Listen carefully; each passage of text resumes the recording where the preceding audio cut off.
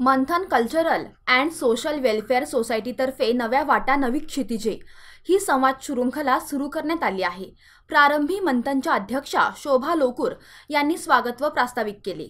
यातील पहिले शिलेदार बेळगावचे सुपुत्र असणारे मैत्रेय कुलकर्णी हे होते.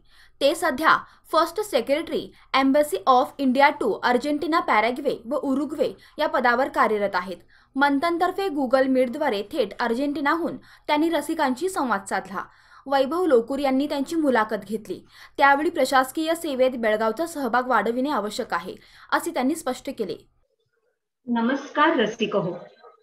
शरदाच्या चांदण्यात भिजून शुभेच्छांची बरसात करून आणि मनामनात स्नेहदीप उजळून नुकतीच दिवाळी पार पडली.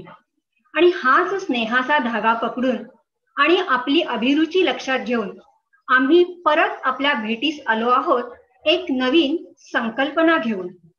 कोरोनाच्या विळख्यामध्ये आपण स्थानबद्ध झालो आणि एकमेकांना प्रत्यक्ष भेटू शकत नाही म्हणून काय झालं? आपण एकमेकांशी संवाद तरी नक्कीच साधू शकतो. म्हणूनच मंथन भगिनींनी असं ठरवलं की आधुनिक तंत्रज्ञानाचा उपयोग करून आपण कार्यक्रम करावेत. आणि मग युट्यूब फेसबुक यासारख्या माध्यमांबद्दल आमच्या मनातली भीती किंवा आमचं अज्ञान दूर करण्यासाठी दोन युवा हात पुढे सरसावले. संकेत कुलकर्णी आणि अक्षय मुदकवी. मंथन संस्था त्यांची मनापासून आभारी आहे.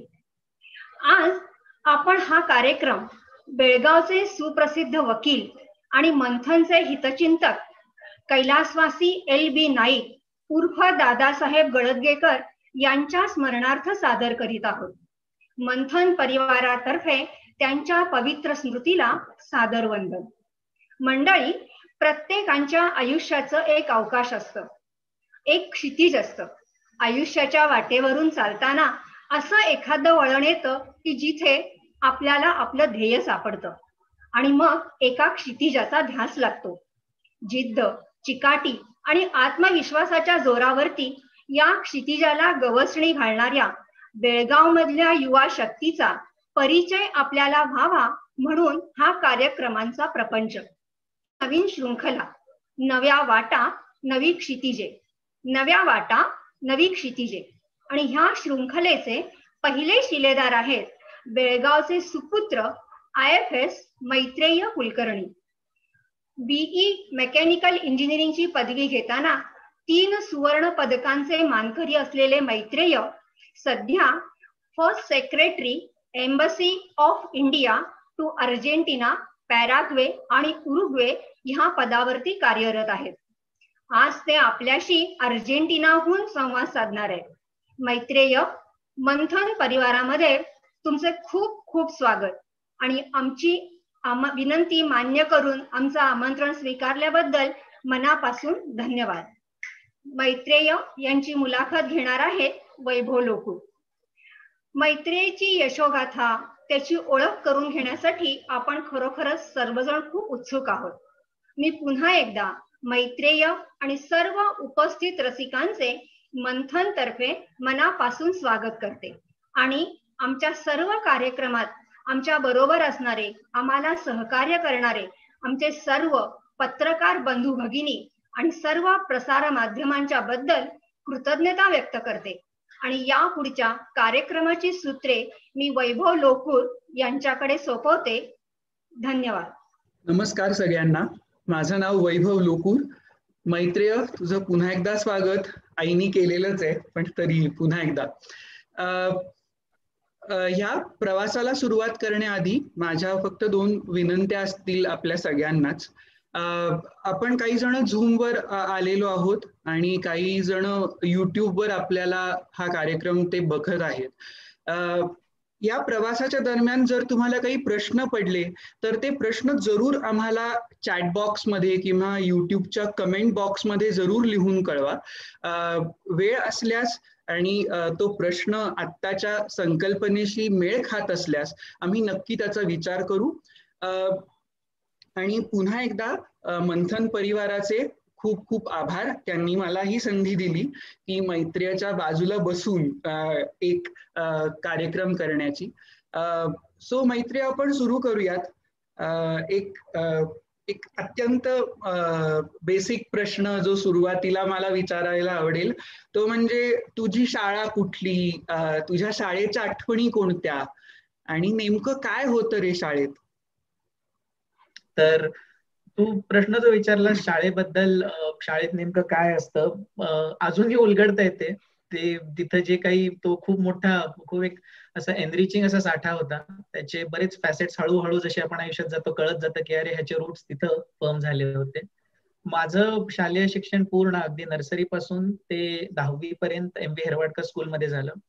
बरेच असे मित्र होते जे काही उशिरा जॉईन झाले काही मध्ये गेले पण आपलं थोडंफार ते एक बार कमिटमेंट करली सारखं होतं. एकदा नर्सरीत गेलो ते दहावी पर्यंत तिथंच होतो.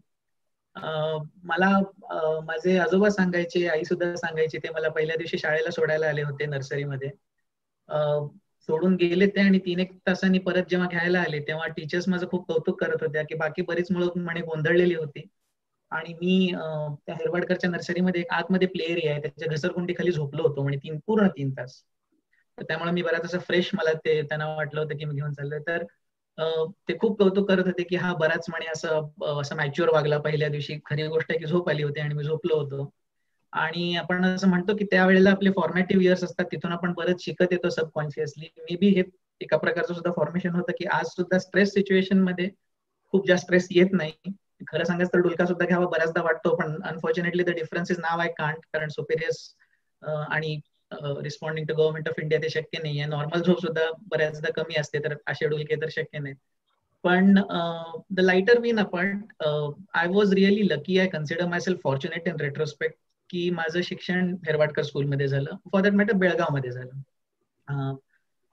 जसं आपण हळूहळू बाहेर येतो आपल्या गावाच्या आपल्या देशाच्या आणि वी स्टार्ट कम्पेअरिंग की आपण जे काही केलं how was it different or how was it similar to what others have done एक असं लक्षात येतं की आपल्या ज्या शाळा आहेत बेळगावमध्ये जी एक शिक्षण संस्कृती आहे तिथं आर्टिफिशियालिटी अजिबात नाहीये की तुम्ही हे शिका आणि परीक्षेमध्ये जाऊन reproduce it so that you get the marks unfortunately that is a part of education but educating yourself on the go तुम्ही ह्या गोष्टीतल्या इंटरेस्टिंग फॅसेट्सशी तुमचं इंटरॅक्शन व्हावं. आणि इन ऍडिशन तुम्ही को करिक्युलर ऍक्टिव्हिटीजमध्ये जास्तीत जास्त पार्टिसिपेट करावं.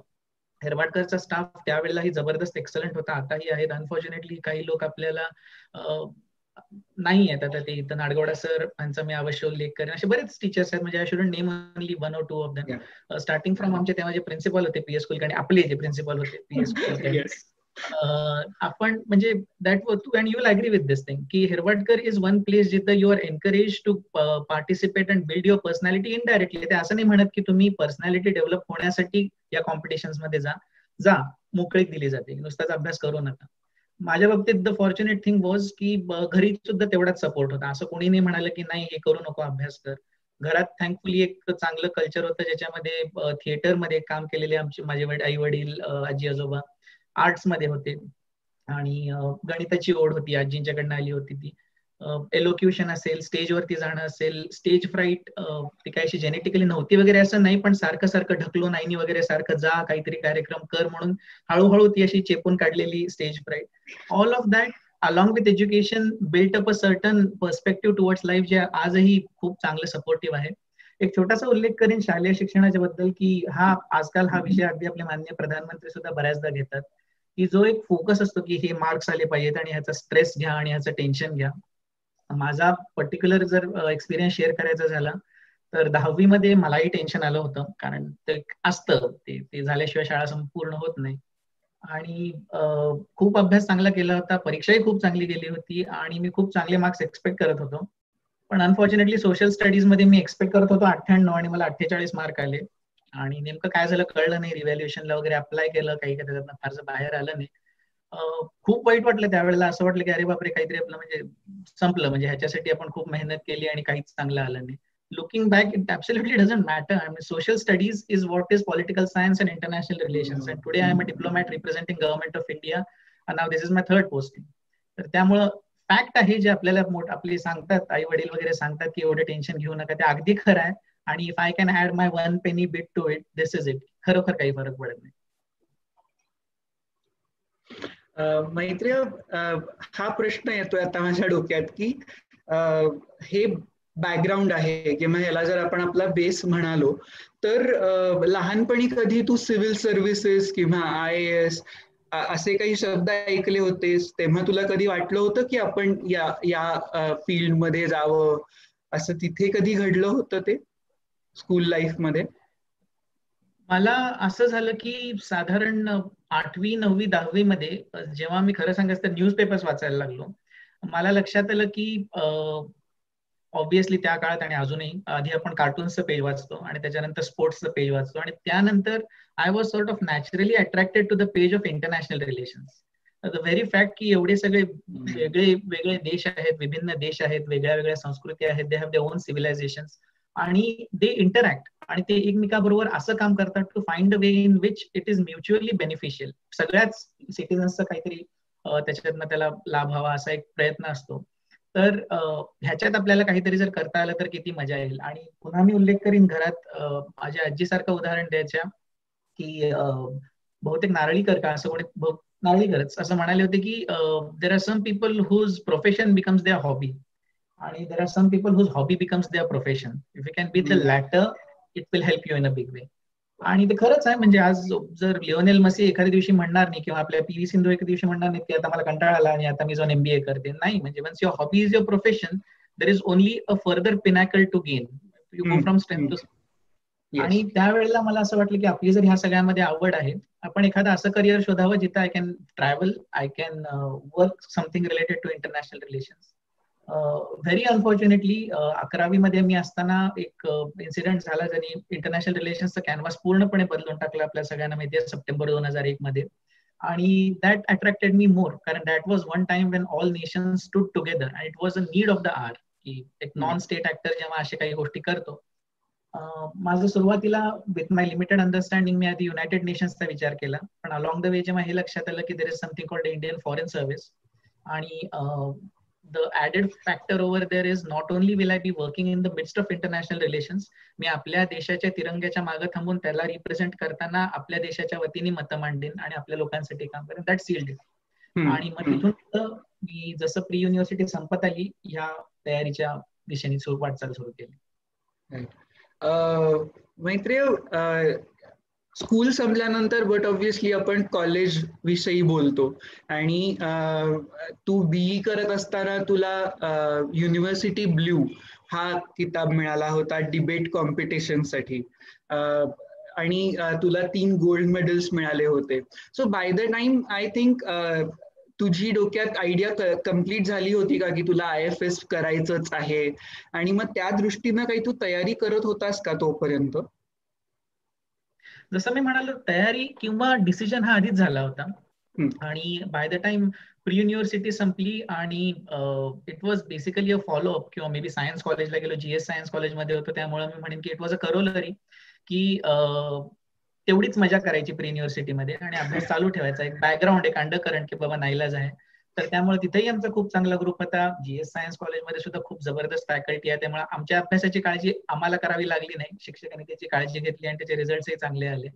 पण आम्ही बेसिकली बाईक्सवरनं फिरायचो बेळगावच्या आजूबाजूचे जंगलांचे I think every square inch was covered by us multiple times तर हे सगळं करत असताना तेव्हा डिसिजन झाला होता. बारावीत मार्क चांगले आले आणि त्यावेळेला एक चांगला सेन ऍडवाइस मिळाला होता की मे बी आपण जेव्हा त्याच्याबद्दल पुढे बोलू मी सांगेन की civil services exam is little difficult in many ways not just because of the content बरेच गोष्टी आहेत.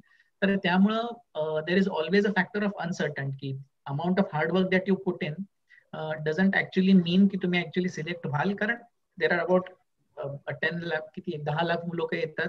Who are of the same calibre तर त्यामुळं काही थोडं मागं पुढे जरी झालं तरी इट्स अन अनसर्टन रिझल्ट तर एखादी प्रोफेशनल डिग्री जर हातात असली तर पुढे जाऊन we can fall back on this thing now if I had not gone for civil services maybe I would even have gone for arts कारण मग मी त्याच्यात करिअर करायचा विचार केला असता. But only because of this idea me I decided की mechanical engineering मला जास्त अट्रॅक्टिव्ह वाटत होतं.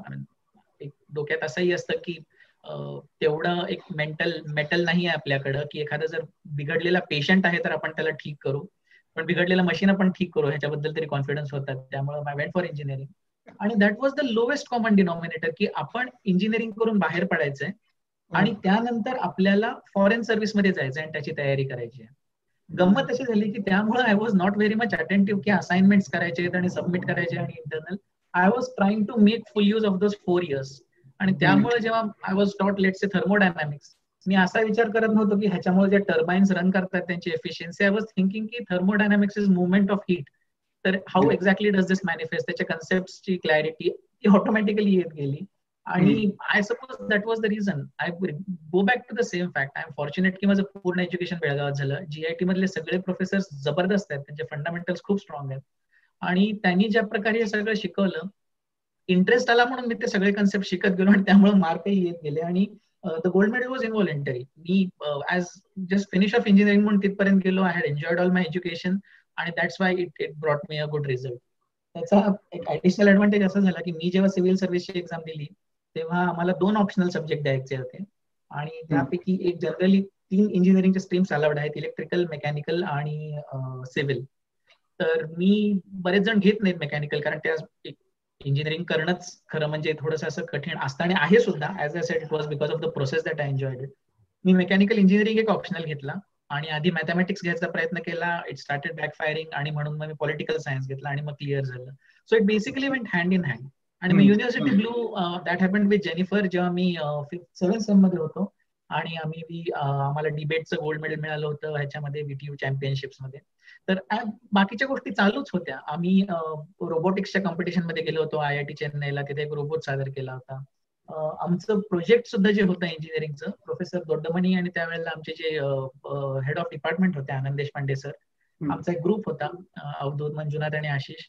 द कन्सेप्ट इट सेल्फ आम्हाला the brain wave was from Doddamani sir but आम्ही ते डेव्हलप केलं की इन्स्टेड ऑफ समथिंग खूप हायटेक हायटेक ठीक आहे पण if we can go back to our origins आणि see if we can help the people around किंवा anything that we can contribute तर आमच्या प्रोजेक्टचं नाव होतं bullock friendly bullock cart concept असा होता की ज्या वेळेला स्लोप्स वरती आणि अपवर्ड ग्रेडियंट किंवा डाऊनवर्ड ग्रेडियंट जेव्हा बैल जातात आणि त्यांच्या खांद्यावरती जास्त वजन पडतं किंवा हम्प वरती पडतं दॅट रिड्युसेस द्या life span human humane ground की त्यांच्यावर खूप वजन होतं.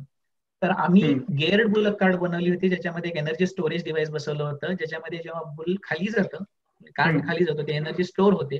आणि वर जाते तेव्हा रिलीज करते. That basically reduce the load at pilot eleven percent आणि रिसेंटली जीआयटीला त्या प्रोजेक्टसाठी पेटंट मिळालेलं आहे.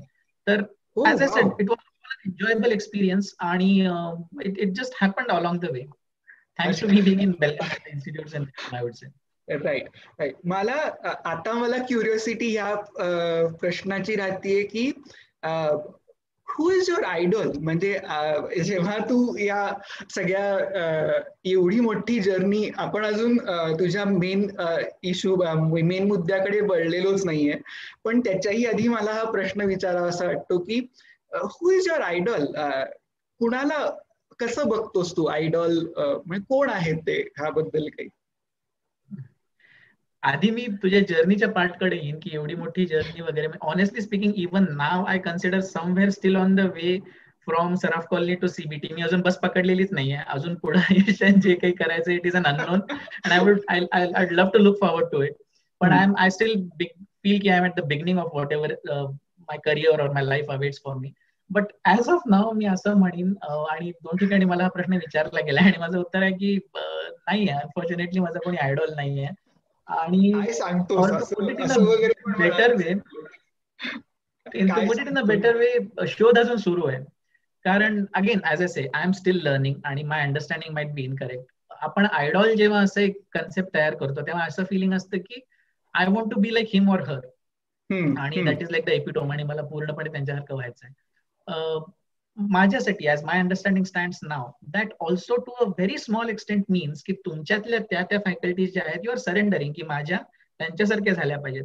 Why don't I retain my own uniqueness मी माझ्या गोष्टी माझ्या ज्या आहेत त्या let me channelise them in a way ज्याच्यात मला पूर्ण सॅटिस्फॅक्शन मिळेल which may not necessarily be to the extent that that person develop आणि त्यासाठी what are I have rather done is it has happen subconsciously प्रत्येक व्यक्ती जी आपल्याला भेटते आपण त्यांच्याशी बोलतो आपण त्यांच्याशी इंटरॅक्ट करतो त्यांच्यातला एखादा फॅसेट जो आपल्या त्या पर्टिक्युलर फॅसेटला इम्प्रूव्ह करू शकेल तर प्रयत्न करायचा की आपण त्यांच्यासारखं बनावं. बनणं खरं म्हणजे शक्य नाहीये.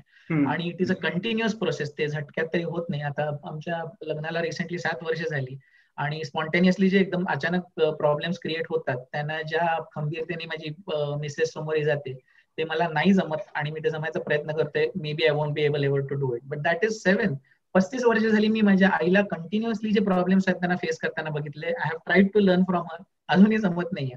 तो let say these are my role models आयडॉलचा शोध अजून चालू आहे. Tomorrow I might come back and say की eyes idol I am still in the process of understanding how the concept are मला आता ऑफकोर्स आता आपण ह्या सिव्हिल सर्व्हिसेस या विषयाकडे येऊयात. ज्याची मला पर्सनली विचारशील तर प्रचंड उत्सुकता आहे. आणि तिथूनच खर तर ह्या सगळ्या कार्यक्रमाची बीज रोवली गेली असं मला वाटतं. मैत्रिया सिव्हिल सर्व्हिसेस आता तू मगाशीच असं म्हणालास की it might be difficult to crack the exam आणि दहा लाख सेम कॅलिबरची मुलं साधारण अप्लाय करतात आणि ती प्रोसिजर असते. पण एक क्विक ओव्हरव्ह्यू सांगू शकशील? तुझा अनुभव कसा होता? किंवा तू तयारी कशी केलीस त्या एक्झामसाठी वगैरे? What was your strategy behind it civil सर्व्हिसेसची जी एक्झाम आहे आणि ती जी कंडक्ट करतात आपलं union public service commission the attempt is constantly because the positions that eventually we handle they are to a certain extent key positions to take further policy on all matters. I will speak for foreign policy, but आपले I S मधले colleagues आहेत police service मधले colleagues आहेत revenue सर्व्हिसमध्ये. In fact there are more than twenty services ज्याच्यासाठी ह्याच्यातनं selection होतं. त्यामुळे बऱ्याचदा जेव्हा लोक म्हणतात आय एस ची परीक्षा मी त्यांना म्हणतो नाही सिव्हिल सर्व्हिसेस म्हणा. कारण आम्ही सुद्धा म्हणजे आम्हाला थोडंसं असं वाटतं की we are the ignored children पण हे जे सगळ्या सिलेक्शन्स आहेत त्याच्यासाठी जी एक्झाम आहे civil services to make sure की because end of the day we call ourselves public servants and that is true to the T आम्ही जेव्हा इथं बसतोय आणि I am trying to project India I am working on behalf of each and every citizen in India and my salary comes out of the hard earn buck of even जे शेतात काम करतात जे ऑफिसेसमध्ये काम करतात त्याच्यातला एक छोटासा वाटा टॅक्सेसमध्ये जातो आणि माझी सॅलरी येते. त्यामुळे ती जाणीव आहे. की आपण ह्यांच्यासाठी काम करत आहोत. Every action should result in something which will refine their life by one iota पण त्याच्याकडे आपलं लक्ष असलं पाहिजे. तर the people are put in these positions the attempt on part of UPSC is to continuously refine the system तर त्यामुळे मी जी सांगत आहे एक्झाम ती मी दोन हजार नऊ मध्ये दिली दहा मध्ये सिलेक्ट झालो. त्याच्यात आता बरेच चेंजेस आलेले आहेत. पण the undercurrent remains the same उदाहरणार्थ मी जेव्हा ही एक्झाम दिली होती तेव्हा आणि पॅटर्न बऱ्यापैकी तोच आहे. एक प्रिलिम्स असते आणि इट इज मल्टिपल चॉईस आमच्या वेळेला त्याच्यात ऑप्शनल विषय होते आता नाही आहेत पण it remains a multiple choice exam numbers very आमच्या वेळेला साधारण सहा एक लाख लोक फॉर्म भरायचे. आता हॅव बीन टोल्ड की जवळपास दहा लोक फॉर्म भरतात. आणि त्याच्यातले मोठा proportion they do appear for the prelims ह्याला कॉम्पिटेटिव्ह सिलेक्शन म्हणतात. काही लोक कॉम्पिटेटिव्ह रिजेक्शन म्हणतात. ह्याच्यातला एक मोठा सेक्शन एलिमिनेट केला जातो at the level of prelims आणि मग बाकी सगळ्यांना एक खूप मोठी सब्जेक्टिव्ह एक्झाम द्यायची असते मेन्स ज्याला म्हटलं जातं. त्याचं टाइम टेबल सुद्धा यावर्षी अनफॉर्च्युनेटली डिस्टर्ब झालंय कोविडमुळे पण around Diwali time around this time October November mains होते. त्याच्यानंतर सुद्धा एक मोठा सेक्शन एलिमिनेट केला जातो. आणि मग जो एक छोटा नंबर उरतो विच इज रफली in the ratio of one is to two as compared to the final list of vacancies available in that year ते त्यांचा इंटरव्ह्यू होतो दिल्लीमध्ये पब्लिक सर्व्हिस कमिशन मध्येच. आणि त्यानंतर जसं मी म्हणालो दुप्पट जो डबल आकडा होता त्याच्यातला सिंग्युलर होऊन तो एक critical mass the number of officers are selected आणि based on your rank then you you are allotted you give your choice कोणी म्हणेल की मला पोलीस सर्व्हिस जास्त आवडतात त्यामुळे पहिला पोलीस देईल. मी फॉरेन सर्व्हिस आधी दिला होता. बरेच जण आय एस आधी देतात. काही जणांना रेव्हेन्यू आवडतं रेव्हेन्यू आधी देतात. तर त्यांच्या रँक आणि त्यांच्या स्कोरला मॅच करत करत मग सर्व्हिस अलोकेशन होतं. आपल्याकडं इंडियामध्ये अफर्मेटिव्ह ऍक्शन आपली आहे. त्यामुळे काही क्लासेस ज्यांना they should be given more opportunity त्यांना जास्त अटेम्प्ट आहेत. पण आपल्या म्हणजे मी ज्याच्यामध्ये होतो तिथं चार अटेम्प्ट होते. तर त्यामुळं if you compare all of this thing there is an age limit also if you compare all of this thing what the the basic idea is when you appear for the exam कोणीतरी असा असू शकतो त्यांनी ही परीक्षा already तीनदा दिलेली आहे. Who has gone through most of the things and you are competing against him for the for him or her for the first time. माझ्या वेळेला दोन ऑप्शनल विषयामध्ये पूर्ण थेअरी पेपर लिहायचे होते. आणि ग्रॅज्युएशन किंवा पोस्ट ग्रॅज्युएट लेवलचे प्रश्न येतात त्याच्यामध्ये. मेकॅनिकल इंजिनिअरिंग माझ्यासाठी it was not alien but when I solve a complete problem आणि खूप टाइम बाउंड असतं ते आणि एक पूर्ण प्रॉब्लेम सॉल्व्ह केल्यानंतर मला जर लक्षात आलं की ह्याचं उत्तर चुकीचं यायला लागलं I don't even have time to correct the whole where as a person who is writing an answer in history the history won't change त्याचे पर्स्पेक्टिव्ह मे बी तो शेवटी खोडून थोडंसं चेंज करू शकतो पण आन्सरचा फ्लो त्याला चेंज करणं मे बी सोपं आहे पण द व्हेरी फॅक्ट की पूर्ण हिस्ट्रीची तयारी करायची is difficult so all this facets going in to the exam make it a little uncertain की मी मेकॅनिकल इंजिनिअरिंग आणि political science I am competing against somebody with Pali literature and law as is optionals it is as difficult for him or her as for me there are people who have come at different stages in to this exam एवढे let's take a round figure पाच लाख जरी मुलं आली आहेत प्रिलिम्सला त्याच्यानंतर select होत होत होत शेवटचे जे सात आठशे लोक सिलेक्ट होतात आणि आय एफ एस जर व्हायचं असेल तर पहिल्या दोन तीनशे मध्ये यायचं आहे. दिस ना यू कॅन इमॅजिन की even if you put in your best of effort एखादं उत्तर चुकलं आणि because of this cutthroat competition cutthroat is a very harsh word but because of this tough competition let's say it is always possible की एखादी छोटीशी कुठेतरी चूक राहून गेली आणि त्यामुळे you missed out on the entire post of that year आणि तुला पूर्ण ती एक्झाम परत द्यावी लागली. So that is the level of complexity involved आणि that is why I found solid reason in the advice which was given की असू दे हातात डिग्री इंजिनिअरिंग दोन तीन वर्ष समजा तुला लागली हे करायला आणि नंतर तुला असं वाटलं की नाही आपल्याला जमत आहे. तर you will have something now you can keep pursuing any of your other interest but किमान तू कुठेतरी एक जॉब शोधू शकशील. That was the idea again all of this dates back to about ten twelve years आज आपल्या हातात even if you I won't say even you you take any particular stream बरेच ऑप्शन्स करिअरचे ओपन झालेले आहेत. So people have a wider book in now which was slightly restricted at that point of time हे सगळं consider करताना having done engineering आणि इंजिनिअरिंगचा विषय घेऊन सिव्हिल सर्व्हिसेसची परीक्षा क्रॅक केली it was an interesting experience political science सारखा विषय पूर्ण कव्हर केला. मला मी प्रोफेशनल कोचिंग असं घेतलं नाही. पॉलिटिकल सायन्स विषय माझ्यासाठी पूर्णपणे नवीन होता आणि तीन महिन्यात कव्हर करायचा होता. म्हणून पुण्यामध्ये युनिक अकॅडमी आहे तुकाराम जाधवांची. त्यांच्याकडे जाऊन मी दोन तीन आठवडे विषयाचा ग्रास घेऊन पुन्हा बेळगावला आलो होतो. पण थ्रू आउट द प्रोसेस पुण्याच्या ज्ञान प्रबोधिनीमध्ये विवेक कुलकर्णी सर म्हणून आहेत सविताताई कुलकर्णी म्हणून आहेत. त्यांचा एक गायडन्स होता कारण लागतो ऑल अक्रॉस दिल्लीमध्ये पुण्यामध्ये तर ऑलमोस्ट ते they are the hot beds of preparation to be in touch with how things are happening आणि that was how my experience was Maitreya अजून एक मला प्रश्न राहतो. तो तो म्हणजे इंटरव्ह्यू कसा होता तुझा? आणि what was your after thought once your out of that room इंटरव्ह्यूच्या room मधनं बाहेर पडलास तेव्हा काय वाटत होतं तुला? इंटरव्ह्यू ते राहतं म्हणजे it stays imprinted in your memory कारण I mean, it is a fact. These are not fairy tales which are told so that aspirants can live happily ever after. It is a fact की ते तिथं बसलेले पाच सहा जे खूप senior प्रचंड एक्सपिरियन्स वाले लोक आहेत ते तुम्हाला खायला नाही बसलेले किंवा तुमच्या चुका शोधायला नाही बसलेले the very fact that you have reach the stage of interview means that you have something in you whether or not you have that one decisive factor which will separate you from the other person because it is basically one is to two if you give a good performance another person who was not at par will be eliminated that is as simple as that ते choose करायला खूप experience लोक तिथं बसलेले असतात. आणि it's it's exciting तिथं जातो आपण. देशभरातले लोक आलेले असतात. सगळ्यांची सेम स्वप्न असतात. प्रत्येकाला असं वाटत असते की हे बाकीचे सगळे सिलेक्ट होऊन आहेत. म्हणजे माझं सिलेक्शन सोपं होऊन जाईल. आणि that is across the room तिथं बसलेलो असतो आपण. आणि माझा इंटरव्ह्यू धमाल होती. ते त्यांनी मला बरेच प्रश्न विचारले. म्हणजे ते असे थोडेसे तुम्हाला टेस्ट करत असतात ना तर अरे तू यू आर फ्रॉम कर्नाटका बेळगावचा म्हटलं कर्नाटका तर मैसूर तुमच्याकडं. Why do you name your cities after demons असं त्यांनी विचारलं. तर मुद्दाम म्हणजे गंमत करायची म्हणून. किंवा आणि एक होते तर त्यांच्या अर्थात म्हणजे त्याला मग तुम्ही you have to invent the answers you have to tell them की महिषासूर मर्दिनी होती आणि that is in respect of her आणि तिथं ते झालं. किंवा आणि एक होते ज्यांचं ते मला व्हायब्रेशन्स मेकॅनिकल व्हायब्रेशन्स कारण त्यांनी बघितलं होतं की माझा मेकॅनिकल इंजिनिअरिंग विषय होता ते बरेच डीप गेले त्याच्यामध्ये. कोइफिशियंट किती असतो जनरली आणि सडनली एकदम ते म्हणाले की मोनालिसाच्या भुवयांचा रंग काय आहे? आणि मी म्हणालो की I believe she doesn't have eyebrows आणि ते म्हणाले की that is true and that prove observation skills तर असे ते बेसिकली ते टेस्ट यू तिथं गेल्यानंतर तुम्हाला कोणीही विचारत नाही की सेकंड फाईव्ह इयर प्लॅन मधल्या अॅग्रिकल्चरल कंपोनंटमध्ये काय चुकीचं होतं ज्यामुळे आपण किंवा काय उत्तम होतं ज्यामुळे आपण पुढे गेलो. All of that has already been tested in the mains this is the place where they check की तुमच्यात ते कॅलिबर आहे की नाही. आणि as for your second question each and every aspirant who comes out of that room believes कि I have done a huge fiasco.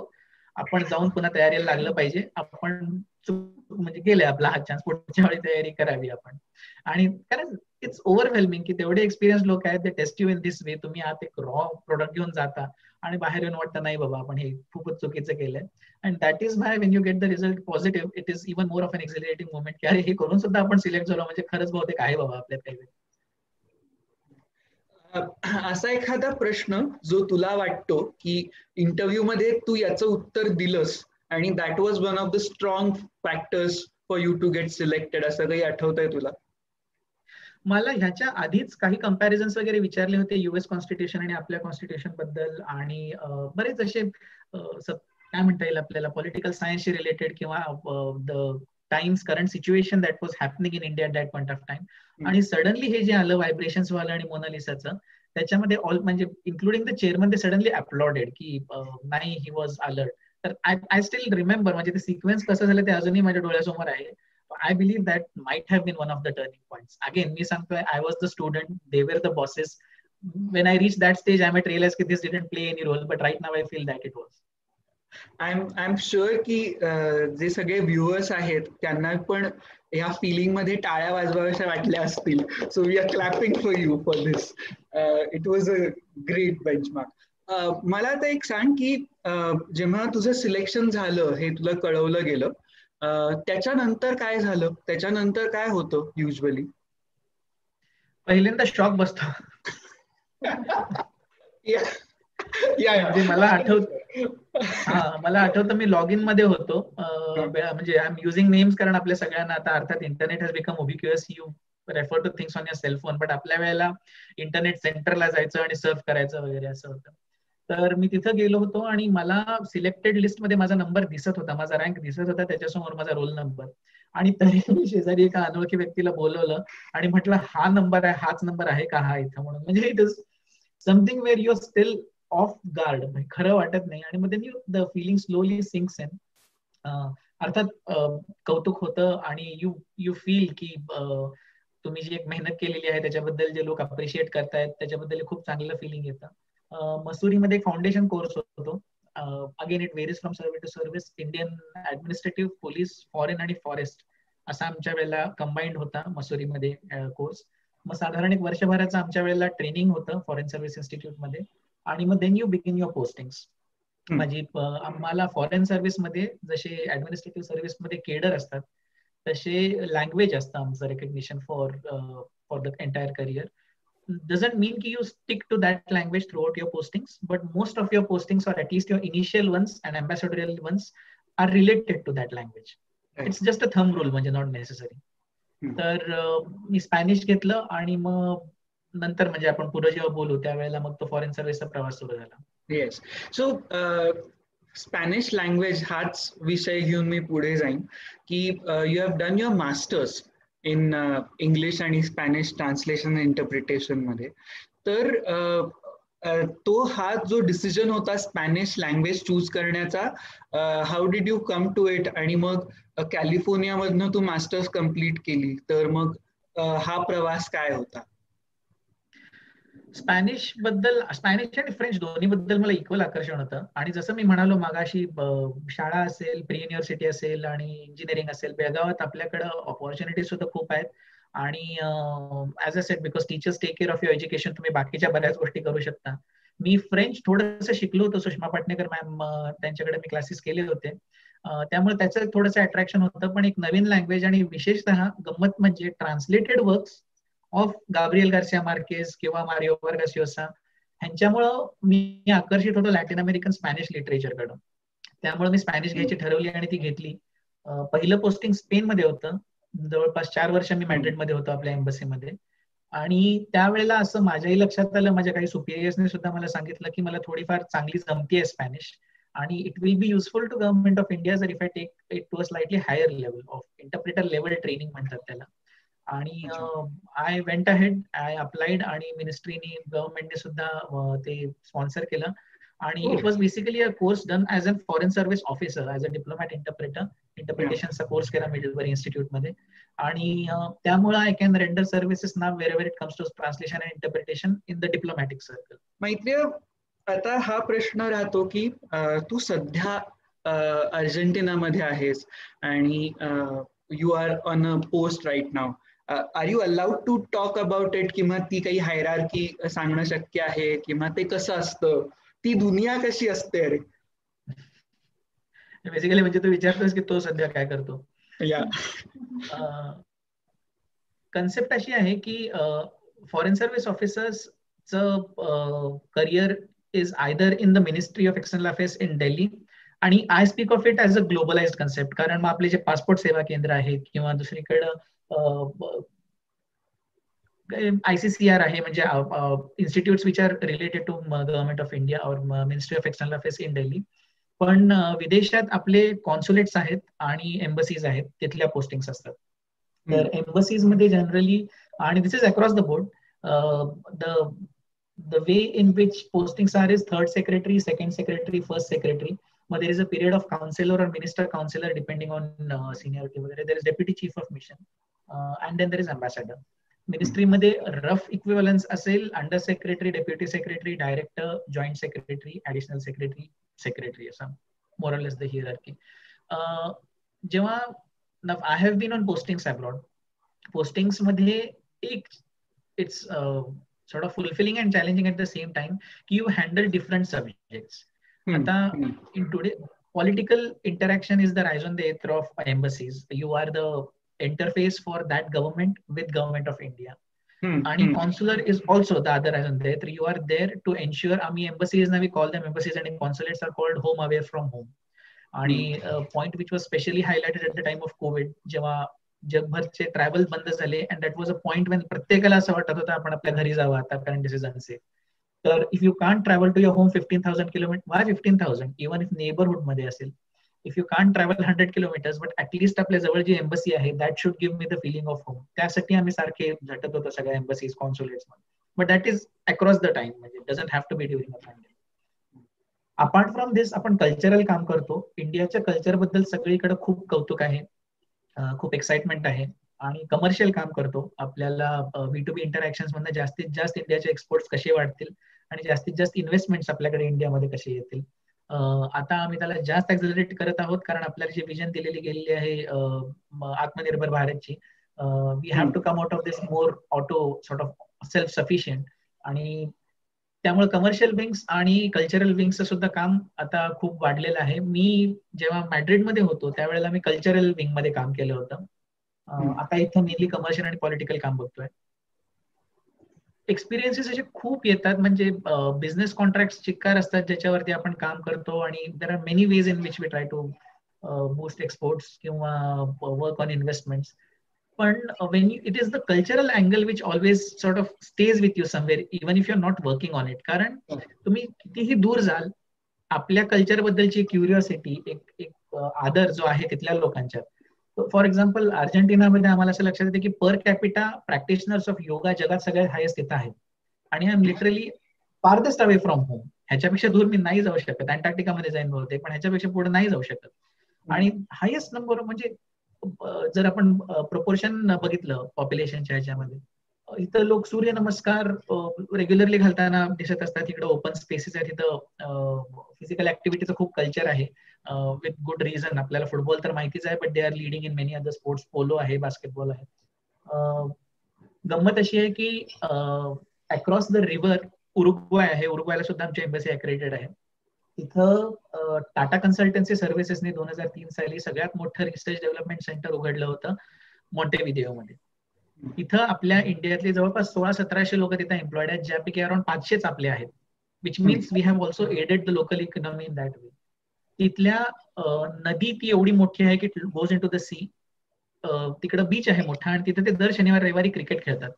पंधरा वर्षामध्ये क्रिकेटचं एक्साइटमेंट तिथं इतकं वाढलंय की लोकल्स खेळायला लागलेलं आहे गंमत अशी की रिसेंटली एक लॅटिन अमेरिकन क्रिकेट टुर्नामेंट झाली. त्याच्यामध्ये उरुग्वायच्या टीमला इंडियन्सने रिप्रेझेंट केलं कारण स्टार्स होते ना आपले. आणि जिंकले. का सेकंड आले होते काहीतरी कारण कॅरिबियन मधली टीम खूप चांगली होती. पण these things when you realise मी जेव्हा स्पेन मध्ये होतो त्यावेळेला आपल्याला सिनेमाच्या थ्रू वगैरे असं कळतं की त्यांच्या बऱ्याच फियस्ता आहेत. आपल्या जिंदगी आम्ही लेगी दोबारा आणि जवळपास टुरिझम खूप वाढवलं होतं स्पेनमध्ये पण असे बाकीचे फेस्टिवल्स आहेत. उदाहरणार्थ बार्सिलोनामध्ये एक कास्तेयर्स नावाची गोष्ट आहे. ह्युमन पिरामिड्स जे खूप उंच जातात आणि इट्स जस्ट अ डिस्प्ले तर मी इनफॅक्ट स्पेनला जायच्या आधी पण आधी एम्बसीच्या इनिशिएटिव्हच्या थ्रू तशी एक टीम मुंबईला गेली होती आणि त्यांनी दहीहंडीच्या बाजूला आपला पिरामिड उभा केला होता. असे छोटे प्रोजेक्ट्स असतात but they sort of strengthen your bonds मला आठवते मी स्पेन मध्ये होतो कल्चरल अटॅचे तेव्हा. आम्ही मुंबईच्या गिरीश देशपांडे आणि त्यांच्या टीमना बोलवून मलखांबाचं प्रत्यक्षिक केलं होतं कास्तिया लेवनच्या कॅथेड्रलच्या बाहेर. लोक अजूनही त्याच्याबद्दल आठवतात. म्हणजे मार्शल आर्ट्स त्यांना कल्लडी टू माहिती होतं. दे वॉन्टेड समथिंग एल्स आमच्या डोक्यात आलं आणि आम्ही तिथे घेऊन गेलो. Every year there is an element of discussion about Mallakhamb आणि आपण ह्याच्याबद्दल काय करू शकतो. विक नावाचं एक छोटस गाव आहे डोंगराळ असा प्रदेश आहे. तिथे त्यांनी इंडियन फिल्म फेस्टिवल केलं. फिल्म्सबद्दल खूप कौतुक आहे. आणि तिथे जेव्हा मी पोहोचलो इनॉग्रल सेशनसाठी त्याच्या तर त्यांनी अशा जवळपास दोन छोट्या टेकड्यांच्या मध्ये मोठ्याच्या मोठं आपले जे हँड पेंटेड बॉलिवूड पोस्टर्स असतात तसं शोलेचं मोठ्याच्या मोठं बनवलं होतं. आणि I would for a movement जर डोळे बंद केले असते मला वाटलं असतं मी मुंबईमध्ये आहे. तर they have that connect with India ना आणि that start resonating with you त्याच्यात ना तुम्हाला एक एक्साइटमेंट मिळतं की अरे ह्या आता विषय आलेलाच आहे तर आणि तू मग अशी भाषेबद्दल म्हणालास. आम्ही मी आणि तपस्या माराकेशला चाललो होतो. आणि कुठेतरी अशा अननोन कोपऱ्यामध्ये आम्हाला एक स्पॅनिश जोडपं भेटलं. आणि त्यांनी विचारलं की तुम्ही इंडियाचे आहात का? हो म्हणाल. तर आता let me give you quick background स्पॅनिशमध्ये जचा उच्चार नाहीये. ह असा आहे. उदाहरण द्यायचं झालं तर याच्या आधीचे जे राष्ट्रपती होते त्यांचे त्यांचं नाव होतं आर ए जे ओ वाय पण राखॉय असं प्रोनाऊन्सिएशन आहे. झालंच तर एच हे म्हणजे असं आयुष्यभर मौन धरलेलं अक्षर आहे. एच प्रोनाऊन्स होत नाही पण आहे ते. आणि अ नाही आहे. आचाच उच्चार आहे. अ नाही आहे त्यांच्याकडे. तर विथ दिस क्विक बॅकग्राऊंड आम्हाला अशाच वाळवंटामध्ये आम्ही सहारा जवळ जात असताना कुठेतरी एक स्पॅनिश जोडपं भेटून आम्हाला सांगते तुम्ही इंडियाचे का हो? आम्हाला बॉलिवूड प्रचंड आवडतंय. आणि आम्ही अगदी रिसेंटली हप्ता आय खान बघितला. आणि आम्हाला सुद्धा जवळपास एक मिनिट लागलं हे समजायला की ती जब तक हे जान म्हणत होती. पण म्हणजे language is not a barrier आणि this is this is just a curiosity about the language she was trying to express त्यांच्या भाषेमध्ये it sounded like that but the फॅ आम्ही अर्थात म्हणालो की होय तो आहे चांगला सिनेमा पण बाकी बरेच आहेत आम्ही त्यांना लिस्ट दिली हे आमचं नेहमी चालूच असतं प्रोपोगंडा पण कुठेतरी अशा अननोन ठिकाणी अशी एखादी गमतीची गोष्ट होते आणि just keeps driving in the fact की आपल्या आर्ट्सबद्दल आपल्या आता उदाहरणार्थ जेव्हा मी सॅन फ्रान्सिस्को मध्ये होतो त्यावेळेला तिकडे महेश काळेंचा कार्यक्रम झाला मध्ये आणि आम्ही जेव्हा गेलो त्यावेळेला ऑडियन्स पूर्ण Indians were based in California जे मराठी भाषिक आहेत. जवळपास एक हजार कपॅसिटीचं ऑडिटोरियम असेल आठशे तरी लोक त्याच्यातले मराठी भाषिक असतील बट सेटल्ड आहेत. त्यांच्यासाठी that day came out of trance was not a surprise right म्हणजे आपण जेव्हा जातो वी एक्सपेक्ट की महेश काळ्यांचं गाणं ऐकून आपल्याला एक समाधी लागेल. उरलेल्या दोनशे पैकी सुद्धा एक शंभर दीडशे ट्रान्समध्ये गेले. दॅट वॉज अन अचिव्हमेंट आणि मग ते चौकशी करतात की अरे हे कुठल्या प्रकारचं आहे? And there we met a lady जे आमच्या बाजूलाच बसली होती. तिने अभंगवाणीवरती पीएचडी थिसिस केलेली आहे. आणि ते टेक्सन आहे प्रॉपर टेक्सासची आहे. तर these are the facts which sort of keep driving in the fact की अरे आपल्या देशाबद्दल आदर आहे. That is a very good capital which is already there ज्यांना माहिती नाही आहे त्यांना त्याच्याबद्दल अवेअर करायला ह्यांची मदत होऊ शकते. Plus this can form a spring pad ज्या जिथून आम्ही इंडियाबद्दल बाकीच्या गोष्टी सांगू शकतो त्यांना. मैत्री दोन तीन प्रश्न आहेत. त्यातला मला वाटतं एक प्रश्नाचं उत्तर आपण दिलंय. पण एक प्रश्न असा आहे डॉक्टर भोकरेंचा की निवड झाल्यावर मुलाखत किती वेळ असते? What is the duration of the generally ती अराउंड अर्धा तास ते चाळीस मिनिटं असते. Okay I have known cases where थोडं कमी पण let's say if somebody comes out in twenty minutes somebody comes out in forty five minutes but it is not a very short interview neither is it very long and exhaustive कारण as a set those five people are so experience enough की may बी त्यांना पाच मिनिटं सुद्धा पुरेल पण ते आपल्याला आपली भीती कमी होण्यासाठी थोडा वेळ बसू देतात की बाहेरून जास्त शॉक बसू नये की अरे मी काय केलं की त्याने दोन मिनिटात मला बाहेर काढलं. Uh, uh, एक uh, प्रश्न आहे की तुमच्यावर प्रभाव पाडणारी व्यक्ती कोण आहे का? Think we have answered this पण तरी. Answer this as as of now जर मला म्हणायचं असेल तर खरंच म्हणजे माझे आई वडील आजी आजोबा आणि विशेषतः आई कारण there is lots that I have try to learn from her आणि आपल्या सगळ्यांशी होते जेव्हा आपण आईशी बोलतो त्यावेळेला आपण हसत खेळत बोलतो चिडाचिड पण होते. पण द अंडर की मला अजून बऱ्याच गोष्टी शिकता येतील काही करता येतील इथून पुढे जाऊन that remains a constant but idol per se जसं मी म्हणाले सम टाइम टू गो आणि ऑफकोर्स जो माझा पण प्रश्न आहे शेवटचा आणि तोच इथे प्रश्न आलेला आहे एक संजय संजय चौडे यांच्याकडून की काय सांगशील यंग ऍस्पिरंट्सना ज्यांना युपीएससीची तयारी करायची आहे ज्यांना हा एक करिअर पाथ म्हणून निवडायचा आहे अशांना काय सांगशील? Actually thank you for the question कारण मी मागं सुद्धा जेव्हा माझी निवड झाली होती आणि मध्यंतरी सुद्धा एकदा आलो होतो तेव्हा तरुण भारतमध्ये त्यांच्या टीमने माझा एक खूप चांगला इंटरव्ह्यू घेतला होता. मला टू अ सर्टन एक्सटेंट थोडीशी खंत अजूनही वाटते की बेळगावहून अजूनही तेवढा इंटरेस्ट येत नाही आहे. जेवढा सिव्हिल सर्व्हिसेस मध्ये जॉईन होण्यासाठी आपण इतर ठिकाणी बघतो इनफॅक्ट आता कोल्हापूर सुद्धा पिकअप करत आहे just to give an example of nearby cities जसं जसं आपण पुढे जातो पुणे चेन्नई मेट्रोज दिल्ली तर विचारायचंच नाही. प्रचंड इंटरेस्ट आहे. आय सिन्सिअरली बिलीव्ह की बेळगावातले आपले जे एक एज्युकेटेड कल्चर आणि म्हणजे बेसिकली एक पूर्ण मोठं पॉझिटिव्ह बॅगेज घेऊन येणारे जे आपले यंगस्टर्स आहेत त्याच्यातले काही लोक जरी इथं वळले तर they can contribute in a big way to public service civil service of India तर तसे बेळगावातलेच नाही कुठलेही जर आता तयारीला लागत असतील तर the two facts which I mention earlier आणि एक which I add on now जसं मी म्हणालो unfortunately this is a tricky exam it is exhaustive it does actually exhaustive तो एज एक असा असतो ज्या वेळेला you see your colleagues your peers joining jobs आणि earning which is not a pressure but it can be a factor which lingers in your mind की अरे मी अजून अभ्यास करतो आणि ते लागले. त्यामुळे काही लोक अभ्यास करता करता तयारी करतात आपलं नोकरी करतात. Many things go into this thing it's a strange age when you are giving this exam आणि the financial factor is there your own mental is there. Something which is advisable is हा पूर्ण एका एक्झामचा अंदाज घेऊन आधीच if one can test oneself की am I really serious about this thing की मी ही परीक्षा देण्याबद्दल एवढा जो वेळ लागणार आहे एवढी जी एनर्जी लागणार आहे with the one percent possibility की ह्याच्यानंतर मे बी माझ्या हातात काहीच नसेल मी तयार आहे का आणि will I be able to get through you do that test and you find yourself positive की होय मी करू शकतो किंवा करू शकते. Then go into it full fledge and then shed your tension because once you go into it with confidence बऱ्याचदा असं होतं की तुम्ही असं कॉन्फिडंटली हाय जाता आणि परीक्षा देताना पूर्ण दंड दिशी खाली आपटता की अरे नाही मला हे नाही जमणार आहे. If somehow you can maintain the confidence level this exam is just another exam find in yourself if you have the capability and stay up in terms of your confidence level. Hard work automatically करावंच लागते म्हणजे there is no other way out but ह्या दोन characteristics will sell you through आपण quick question Maitreya. की तू आता म्हणालास की मेंटेन द कॉन्फिडन्स लेवल कसा करायचा तू? माहीत नाही. हे मी रिट्रोस्पेक्टमध्ये सांगतोय. कारण मला स्वतःला एक दोन तीनदा वाटलं की अरे काय चालू आहे वगैरे.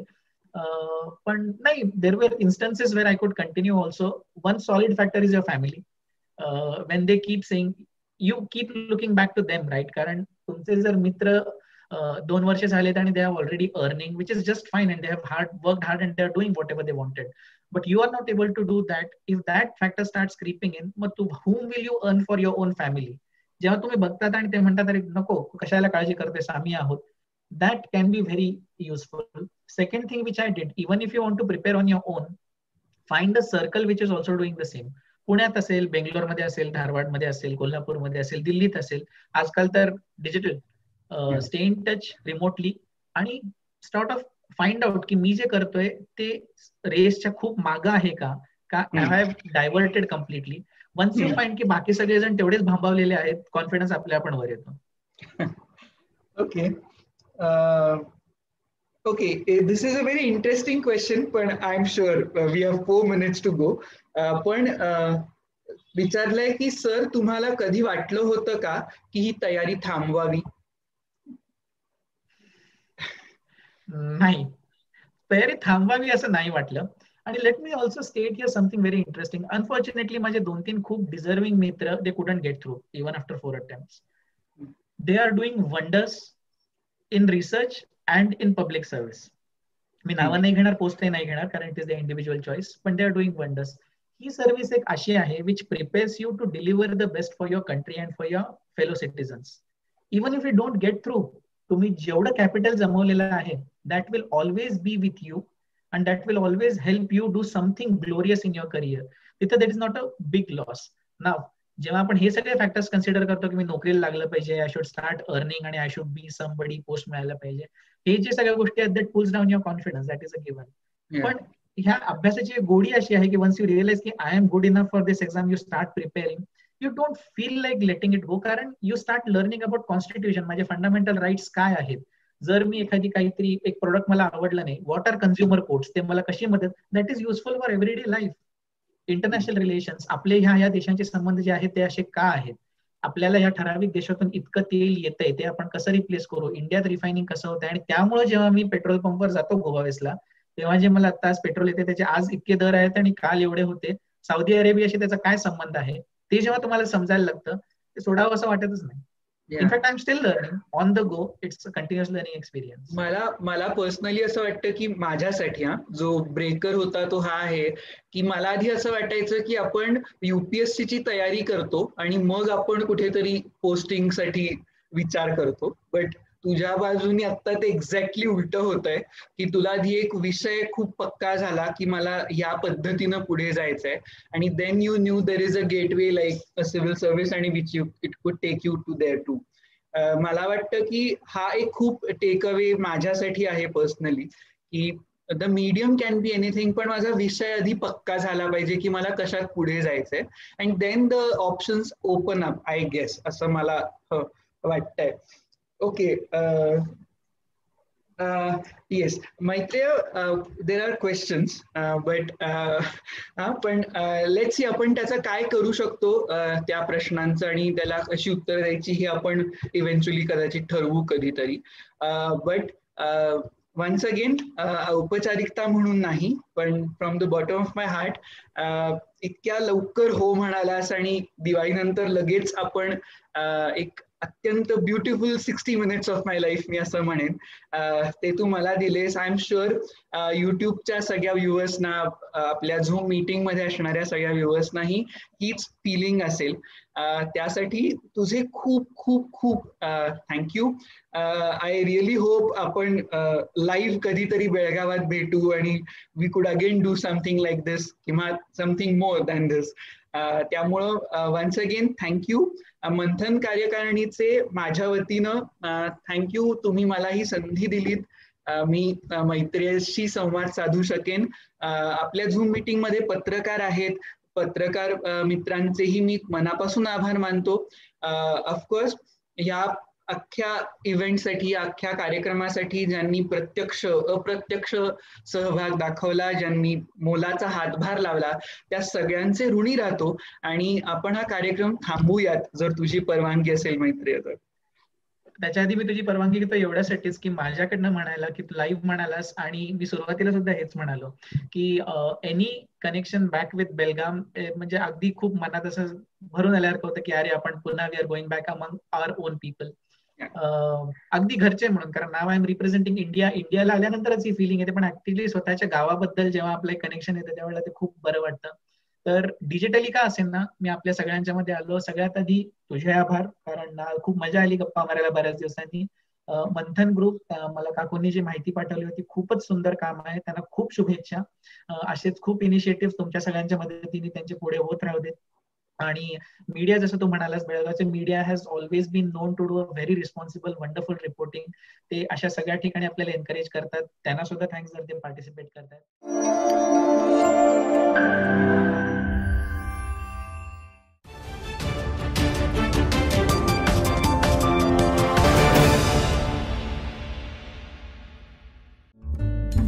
सबस्क्राईब करा तरुण भारत न्यूज चॅनलला आणि ताज्या घडामोडी सर्वात आधी जाणून घेण्यासाठी बेल आयकॉनवर क्लिक करा.